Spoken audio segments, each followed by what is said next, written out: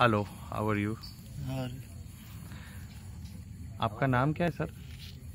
रियाज अब्दुल रऊफ शाह माशाल्लाह। मैं आपसे ये पूछना चाह रहा था कि आप करते क्या हो? ऑटो रिक्शा चलाता हूँ।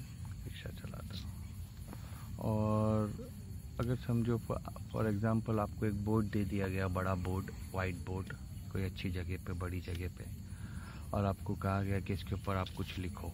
अपने हिसाब से जो आपके दिमाग में। तो आप उस पर क्या लिखोगे?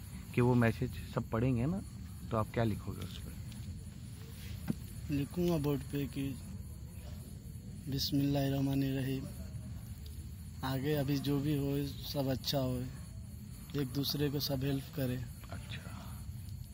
सब एक दूसरे के लिए अच्छे सोचे। वेरी गुड सब एक दूसरे के लिए अच्छा काम करे। और मेरा चौथा सवाल ये है कि आपके लिए कामयाबी क्या है? सक्सेस यानी कामयाबी।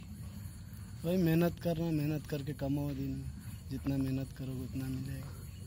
और आपका एक गोल क्या है लाइफ के अंदर? मतलब आपको कहाँ तक पहुँचना है? मतलब आप अल्लाह जहाँ तक पहुँचा दे बहुत बहुत शुक्रिया भाई। Thank you